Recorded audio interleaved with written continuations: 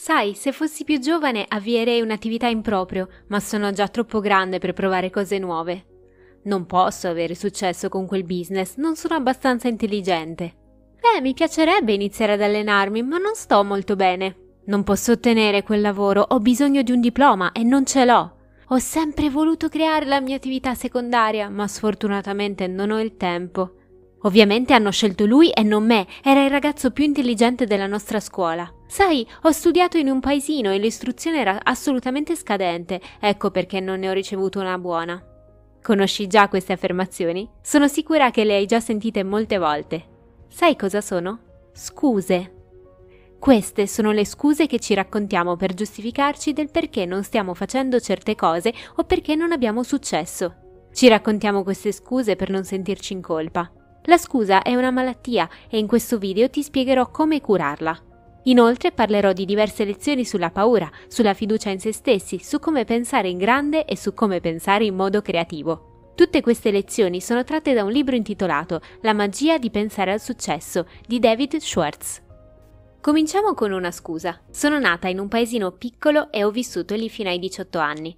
Quando ero al liceo avevamo un vicino di mezza età che parlava costantemente dei suoi anni universitari e di come fosse il migliore della sua facoltà.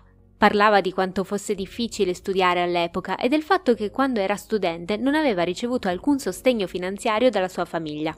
Parlava anche con grande orgoglio dei suoi amici che ora occupavano alte posizioni a Roma. Un giorno ho chiesto a quest'uomo come avesse fatto a finire in un paesino con un lavoro così poco retribuito, visto che era un così bravo all'università. Lui è rimasto in silenzio per qualche secondo e poi ha detto che il suo sogno era andare a Roma, ma si è sposato e ha avuto dei figli e per tale motivo non è riuscito ad avere successo come i suoi amici. Ha praticamente detto che non ha avuto successo a causa di sua moglie e dei suoi figli. All'epoca mi sembrava che quest'uomo avesse sacrificato la sua carriera per la sua famiglia, ma dopo aver letto il libro La magia di pensare al successo ho capito che quest'uomo stava solo usando la sua famiglia come scusa per il suo fallimento nella vita. L'autore afferma che più una persona ha successo, meno scuse trova. Sono sempre le persone che non vanno da nessuna parte nella vita che trovano scuse per le quali non possono o non potranno. Se vuoi fare qualcosa, trovi un modo, altrimenti trovi una scusa. Potresti ricevere un po' di compassione dai tuoi amici, ma non riceverai rispetto se ti lamenti sempre. I pensieri positivi o negativi si rafforzano quando vengono fertilizzati da una ripetizione costante. Una volta che ti convinci con una scusa, il tuo cervello si spegne e non cerca nemmeno strade alternative per raggiungere l'obiettivo. Una delle scuse più comuni è pensare che non sei abbastanza intelligente o non hai ricevuto un'istruzione adeguata. È molto comune, la maggior parte delle persone che ci circondano utilizza questa scusa. Ecco tre modi per superare questa malattia. Primo, ricordati sempre che il tuo atteggiamento è molto più importante della tua intelligenza. L'autore racconta di un suo amico che aveva solo un braccio, ma era un grande giocatore di golf. Quando l'autore gli chiese come facesse a essere così bravo a golf nonostante la mancanza di un braccio, la sua risposta fu: Il giusto atteggiamento e un solo braccio batteranno sempre un atteggiamento sbagliato e due braccia. Lascia che lo ripeta: il giusto atteggiamento e un solo braccio batteranno sempre un atteggiamento sbagliato e due braccia. Immagina di essere il capo e di avere due contabili nella tua azienda. Il primo ha molti anni di esperienza e fa bene il suo lavoro. Il secondo è piuttosto inesperto ed è nuovo nell'azienda. Il primo contabile non si preoccupa di nulla al di fuori del suo lavoro, fa solo quello che gli viene chiesto e basta. Al contrario, il secondo contabile aiuta i suoi colleghi se finisce presto il suo lavoro. Quando arriva qualcuno nuovo in azienda, lui lo accoglie calorosamente e gli offre il suo aiuto. Se c'è qualcosa che può fare nell'ufficio marketing lo fa e basta, senza dire che non è il suo ufficio. In poche parole, cerca di aiutare l'intera azienda ad avere successo piuttosto che concentrarsi solo sulla contabilità. Ora, se fossi il proprietario dell'azienda e dovessi promuovere uno dei due contabili, chi sceglieresti? Sono sicura che sceglieresti il secondo contabile perché ha l'atteggiamento giusto. Vedi, avere l'esperienza e l'intelligenza non vale molto se poi non hai l'atteggiamento giusto. Nella vita reale mi è capitato di vedere l'esempio precedente molte volte. Sono sicura che se guardi l'azienda per la quale lavori lo troverai anche tu. Credimi, se vuoi andare avanti, cambiare il tuo atteggiamento è più che sufficiente per fare la differenza. Secondo, saper pensare è molto più importante dell'intelligenza. La persona che sa usare il cervello e l'immaginazione per risolvere i problemi batterà sempre la persona che usa il cervello come ripostiglio per i fatti accaduti. Immagina di svolgere un colloquio a due persone per la tua attività. Il primo candidato entra e gli chiedi se sa qual è l'altezza dell'edificio in cui vi trovate in questo momento. Il candidato dice: mm, Sì, lo so, ho lavorato come architetto per diversi anni e ho memorizzato l'altezza di tutti gli edifici di questa zona, quindi l'altezza di questo edificio è di 25 metri. Ed è la risposta giusta. Il candidato ti ha dato una risposta precisa. Poi se ne va. Entra il secondo candidato e gli fai la stessa domanda. Ti guarda e dice che non conosce la risposta, poi ti chiede di scusarlo per qualche minuto. Il candidato corre all'esterno, misura la lunghezza della propria ombra a terra, poi misura l'ombra dell'edificio, confrontando il rapporto di queste due ombre ottiene un numero, torna di corsa dentro e ti dice che l'altezza dell'edificio è di circa 23 metri. La mia domanda è, chi assumeresti? Non ti conosco, ma so che assumeresti il secondo candidato, anche se la sua risposta non è stata precisa, anche se ti ha dato la risposta sbagliata, perché sa pensare sa come usare il cervello. Oggi più che mai abbiamo bisogno di persone che sappiano pensare. A scuola impariamo a risolvere problemi a scelta multipla, ma i problemi nella vita reale non sono a scelta multipla. Le opzioni non sono definite e le soluzioni sono da qualche parte là fuori e richiedono di pensare fuori dagli schemi. Siamo così abituati ai problemi a scelta multipla che anche quando chiedi al tuo amico in quale ristorante vuole andare per pranzo, ti guarda e ti dice quali sono le mie opzioni? Invece di pensare di trovare qualcosa, vuole delle opzioni in modo da poter scegliere. Quindi ricorda che la capacità di pensare è molto più importante della capacità di memorizzare i fatti. Potresti non ottenere il massimo punteggio all'esame, ma sono sicura che hai un modo di pensare unico. Infine, terzo, non sottovalutare mai la tua intelligenza e non sopravvalutare mai quella degli altri. Non sminuirti, concentrati sulle tue risorse e scopri i tuoi talenti superiori. Un'altra scusa comune riguarda l'età. Non importa a che punto siamo nella vita, utilizzeremo la scusa dell'età o sentiremo qualcun altro lamentarsi di ciò. Questa scusa ha chiuso la porta a delle opportunità reali a migliaia di persone. Pensano di essere troppo vecchi o troppo giovani, quindi non si preoccupano nemmeno di provarci. Ad esempio, mettiamo che hai 40 anni e vuoi iniziare a creare la tua attività, ma pensi di essere troppo vecchio per questa cosa e quindi non vuoi provarci. Prima che tu smetta completamente, permettimi di farti alcune domande. Se ti chiedessi qual è l'età media in cui di solito iniziamo a essere produttivi nella vita, probabilmente diresti che sono i 20 anni, giusto? Diresti che questa è l'età in cui la maggior parte di noi inizia a lavorare e a creare qualcosa. Ok, lascia che ti faccia un'altra domanda. Qual è l'età media in cui finisce la vita produttiva di una persona? Probabilmente diresti che è 70.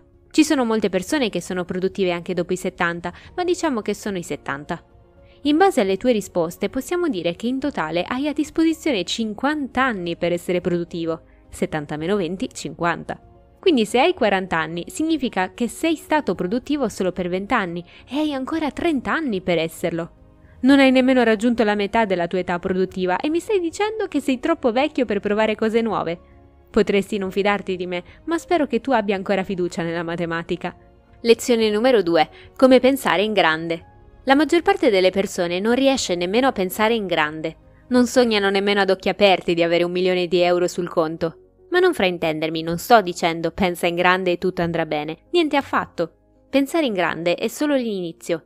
Dopo aver pensato in grande devi lavorare sodo, devi fare cose che gli altri non fanno, devi fallire molte volte e rialzarti, devi leggere molto, devi lavorare in modo intelligente.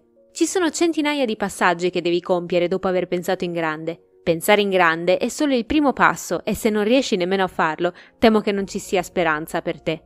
Quando ero all'università, la maggior parte degli obiettivi del mio gruppo di amici era laurearsi e lavorare in una buona azienda o una banca. E solo pochi di loro non volevano lavorare per una buona azienda, ma creare una buona azienda.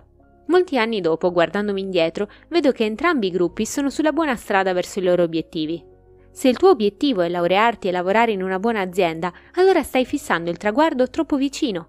È come se dicessi voglio andare in palestra ogni giorno per poter fare 20 flessioni. Quando si tratta di successo, le persone non si misurano in chili, lauree o famiglia, ma in base alla dimensione del loro pensiero. La più grande debolezza umana è l'autocritica ed etichettarsi con un valore molto basso. Se il tuo amico Tommaso ha l'obiettivo di guadagnare un milione di euro, ma pensi che sia impossibile, allora perché dovrebbe accettarti come partner per la sua nuova idea di business? Se pensi di non meritare quella bella ragazza, allora perché lei dovrebbe pensare che la meriti?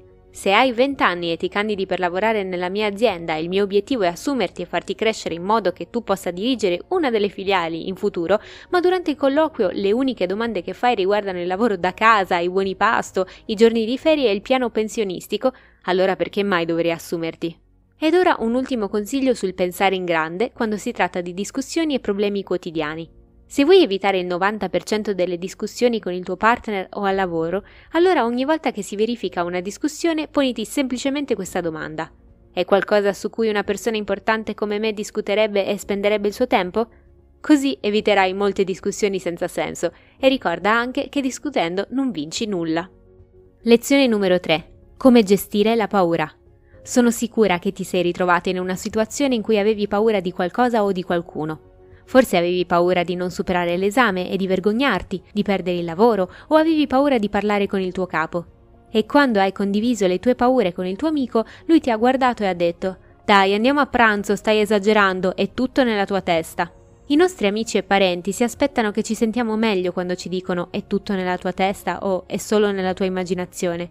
Ma la realtà è che la paura è reale ed è una forza potente. Poi ovviamente la paura è nella mia mente, non penso possa essere nei miei piedi, quindi non aspettarti che mi calmi se mi dici che è solo nella mia mente. La paura e la mancanza di fiducia in se stessi sono reali e sono il nemico numero uno del successo. La paura di qualsiasi grandezza è una forma di malattia psicologica. E sai qual è la cura? L'azione. Hai mai visto una persona in piedi davanti a una piscina ma con la paura di saltare? Rimane lì senza agire, ma improvvisamente qualcuno la spinge e in pochi secondi la paura è finita e si ritrova in acqua. L'azione cura la paura. Lascia che ti racconti una storia dal libro per capire meglio questo concetto. L'autore racconta che un giorno un responsabile delle vendite gli ha chiesto aiuto e gli ha spiegato che temeva di perdere presto il lavoro. Gli ha detto che ultimamente i numeri delle vendite erano molto bassi nel suo reparto e per questo c'era una grande possibilità che venisse licenziato. Dopo aver ascoltato la storia del responsabile delle vendite, l'autore ha chiesto come volesse agire per risolvere la situazione. Un po' confuso, il responsabile delle vendite gli ha chiesto cosa intendesse. L'autore ha risposto dicendo Sì, capisco che hai paura, capisco che sei ansioso, ma quali azioni stai intraprendendo per evitare di perdere il lavoro o ridurne l'impatto negativo? Il responsabile delle vendite non aveva alcun piano d'azione. Quindi l'autore gli ha consigliato di fare immediatamente due cose. Innanzitutto annotare i possibili modi per aumentare le vendite e metterli subito in pratica. In secondo luogo, per ogni evenienza, cercare altri lavori in altre aziende. Dopo diverse settimane, il manager lo ha chiamato e gli ha detto che dopo l'incontro aveva intrapreso diverse azioni e i numeri delle vendite erano migliorati molto. Inoltre aveva ricevuto due offerte di lavoro da diverse aziende, ma le avrebbe rifiutate perché le cose stavano andando bene nella sua attuale azienda. Come vedi, quando abbiamo paura, ci dimentichiamo che ci sono azioni che possiamo intraprendere.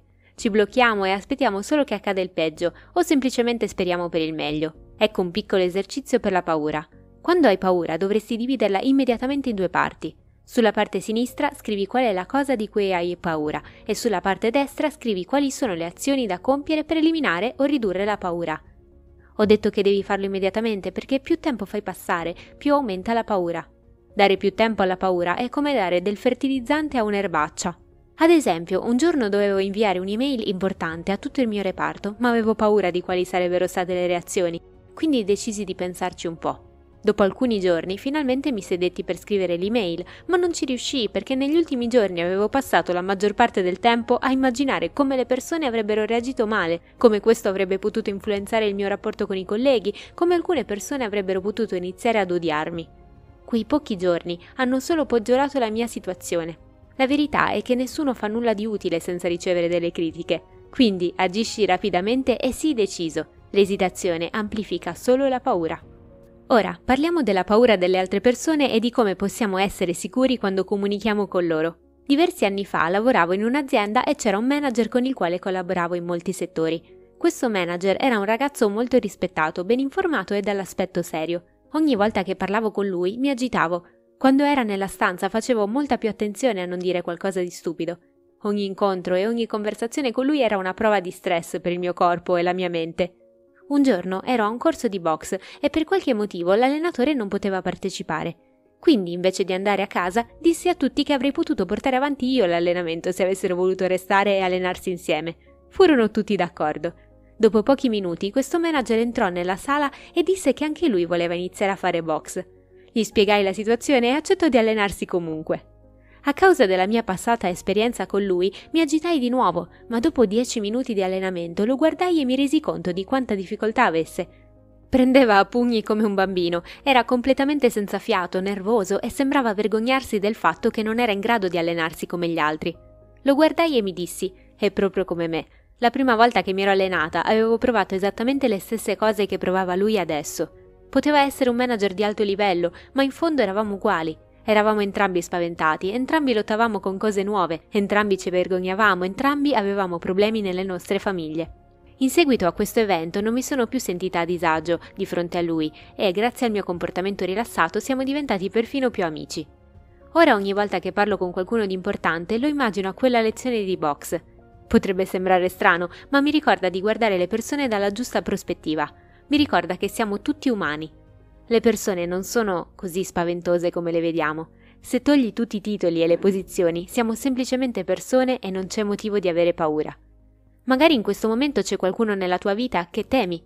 Immaginalo in uno dei tuoi sport preferiti e vedi quanta fatica farebbe se gareggiasse contro di te. Questo approccio può aiutarti a mettere le persone nella giusta prospettiva. Potrebbe sembrare un consiglio strano, ma come funziona e magari funzionerà anche con te. Lezione numero 4. Come essere più sicuri. Mettiamo che una grande azienda mi offra molti soldi per pubblicizzare il proprio prodotto su questo canale. Guardo il loro prodotto, vedo che va tutto bene, ma c'è un difetto. Dapprima esito a pubblicizzarlo, ma poi mi dico, dai, non puoi rifiutare tutti quei soldi e poi i tuoi spettatori non si accorgeranno del difetto se non lo menzioni. Quindi lo pubblicizzo, ma sapete cosa accadrà dopo? Che la mia fiducia crollerà e vivrò nella paura. La mia mente si chiederà costantemente, hanno scoperto che gli ho mentito? Verrò beccata? Avrò paura di guardare i commenti, Ogni volta che qualcuno mi fa domande sul canale non parlerò mai con sicurezza con quella persona. Agire bene permette di costruire fiducia, mentre agire male la distrugge. Ora non sono qui per farti una lezione religiosa sull'importanza di agire nel modo giusto, sto solo guardando il lato pratico. Quando fai qualcosa che va contro la tua coscienza, ti senti in colpa, non riesci a pensare lucidamente perché la tua mente si chiede in continuazione: verrò beccato? Verrò beccato? Dentro ognuno di noi c'è il desiderio di avere ragione, pensare correttamente e agire correttamente. Quando andiamo contro quel desiderio, ammaliamo la nostra coscienza e quella malattia divora la nostra fiducia. Un giorno potresti avere una gran voglia di fare una vendita da arrivare a pensare di indurre deliberatamente in errore il cliente a comprare. E potresti riuscirci, ma ecco cosa accadrà. Ti chiederai sempre: il cliente ha scoperto che gli ho mentito? La prossima volta la tua presentazione sarà inefficace perché non riuscirai a concentrarti. È probabile che non riuscirai mai a vendere una seconda volta a quel cliente. Molti criminali vengono catturati non perché qualche indizio li incrimina, ma perché si comportano in modo colpevole. Quindi ecco una lezione importante sulla fiducia in se stessi che vale la pena leggere 35 volte. Pensare con fiducia, agire con fiducia. Agisci nel modo in cui vuoi sentirti. Il secondo fattore di scarsa fiducia è correlato a una memoria mal gestita. Il tuo cervello è molto simile a una banca. Ogni giorno depositi dei pensieri nella tua banca della mente. Questi depositi di pensiero crescono e diventano la tua memoria. Quando affronti un problema e inizi a pensare, in pratica stai chiedendo alla tua banca della memoria cosa conosco già riguardo a questo problema? La tua banca della memoria risponde automaticamente e ti fornisce tutte le informazioni relative a questa situazione che hai depositato in precedenza. La banca della memoria è tremendamente affidabile. Arriva il momento che fallisci in qualcosa e dici Salve signor banchiere della memoria, potrebbe per favore fornirmi alcuni dei miei depositi dimostrando che sono un fallito? E il tuo banchiere dirà Sì signore, ricorda di quando il suo insegnante in prima media le disse che sarebbe stato un fallimento nella vita? Si ricorda di quando ha perso il lavoro? Si ricorda di quando la sua ragazza la lasciò perché pensava che fosse un fallito? Si ricorda di quando non superò l'esame e non ottenne il diploma? L'autore consiglia due cose. In primo luogo, deposita solo pensieri positivi nella tua banca della memoria e non andare a dormire con pensieri negativi. Non pensare per ore agli eventi negativi. Vai a giocare con i bambini, fai qualcosa che ti distragga. In secondo luogo, preleva solo pensieri positivi dalla tua banca della memoria. Ora immagina di dire al tuo banchiere della memoria: Può darmi dei pensieri che mi rassicureranno? E il signor banchiere dirà: Sì, signore e ti porterà ricordi che dimostreranno che puoi avere successo. Le persone di successo sono specializzate nel depositare pensieri positivi nella loro banca della memoria e nel ritirare solo questi. I pensieri negativi causano l'usura del tuo motore mentale. Immaginano in questo modo. Se prendi una manciata di ghiaia e la metti nel serbatoio della tua auto ogni mattina prima di andare al lavoro, come influirebbe sul motore? I pensieri negativi fanno lo stesso. Quando i pensieri negativi iniziano a prendere il sopravvento, ricordati dove ti porteranno. Ricordati che puoi fare una scelta. Non ho intenzione di fingere di essere brava in questo, neanche il contrario, faccio fatica anch'io, ma cerco di ricordarmi che posso scegliere quale parte della storia voglio depositare. L'autore condivide molti altri suggerimenti per aumentare la propria fiducia. Eccone alcuni. Primo, esercitati a dire la tua. Sono sicura che sei stato in una riunione o in un'aula in cui volevi commentare o dire qualcosa, ma non l'hai fatto. Succede a molti di noi. A quel punto ci diciamo, se dico qualcosa probabilmente sembrerò sciocco, quindi non dirò nulla. Magari gli altri ne sanno più di me, non voglio che gli altri sappiano quanto sono ignorante. Ogni volta che non dici la tua opinione, ti senti ancora più inferiore. Ti prometti di farlo la prossima volta, ma probabilmente non parlerai nemmeno quel giorno. Ogni volta che non parli, avveleni il cosiddetto albero della fiducia. Di la tua e basta. Esprimersi è una vitamina che crea fiducia. Imponiti come regola di parlare a ogni riunione alla quale partecipi, nessuna eccezione. Commenta, suggerisci qualcosa, fai una domanda e non essere l'ultimo a parlare. Non preoccuparti mai di sembrare sciocco, non lo sarai. Per ogni persona che non è d'accordo con te, è molto probabile che un'altra lo sarà. 2. Esercitati a stabilire un contatto visivo. Il modo in cui una persona usa i suoi occhi dice molto di lei. Istintivamente ti poni domande sulla persona che non ti guarda negli occhi. Cosa sta cercando di nascondere? Di cosa ha paura? Sta cercando di ingannarmi? Di solito il mancato contatto visivo comunica una di queste cose. Mi sento debole accanto a te, mi sento inferiore a te, ho paura. Evitare il contatto visivo con un'altra persona può anche significare mi sento in colpa, ho fatto qualcosa che non voglio che tu sappia e temo che guardandoti tu lo scopra. Quindi vinci questa paura guardando negli occhi l'altra persona. 3. Siediti nelle prime file. Hai mai notato nelle riunioni a lavoro o a lezione come le file posteriori si riempiono per prime? La maggior parte delle persone scatta per sedersi nelle ultime file in modo da non essere viste troppo. E il motivo per cui hanno paura di essere viste è che non hanno fiducia in se stesse. Sedersi davanti crea fiducia. Fallo! D'ora in poi imponiti di sederti il più vicino possibile alla prima fila. Lezione numero 5. Come pensare in modo creativo. Il pensiero creativo non è riservato ad artisti, musicisti e scienziati. Il pensiero creativo è semplicemente trovare modi nuovi e migliori di fare qualcosa. Ad esempio, uno studente trova un modo per gestire i suoi corsi e allo stesso tempo crearsi una seconda attività. Il dipendente trova un modo per risparmiare 20 ore alla settimana per la sua azienda. Il venditore trova un modo migliore per vendere di più, eccetera. L'autore afferma che il primo passo per iniziare a essere creativi in qualcosa è credere che si possa fare. Quando lo credi, la tua mente trova il modo per farlo. Quando credi che qualcosa sia impossibile, la tua mente si mette al lavoro per dimostrare perché non può essere fatto. Ma quando credi davvero che qualcosa possa essere fatto, la tua mente lavora per te e ti aiuta a trovare i modi per farlo. Le soluzioni iniziano ad apparire in momenti e luoghi inaspettati. La convinzione libera potere i creativi. Lo scetticismo mette i freni. Quando non ci credi, fondamentalmente congeli il tuo cervello e non cresce nulla nel luogo congelato. La persona di successo non si chiede posso farlo? Sa che può. Quindi si chiederà come posso farlo? Quando ti chiedi come, accendi il tuo potere creativo. Ecco un piccolo esercizio. Prendi un quadernino e ogni giorno prima di iniziare a lavorare dedica 10 minuti a pensare come posso aumentare le vendite, come posso creare un nuovo business, come posso studiare in modo più efficace, qualsiasi cosa tu voglia ottenere. Presto inizierai a ricevere soluzioni e idee che non avresti mai pensato esistessero prima. Quando arrivano le idee, scrivile e ogni lunedì o venerdì rileggile tutte. La maggior parte delle soluzioni trovate non varrà nulla, ma alcune sì e alcune idee si collegheranno ad altre e diventeranno un'unica grande idea.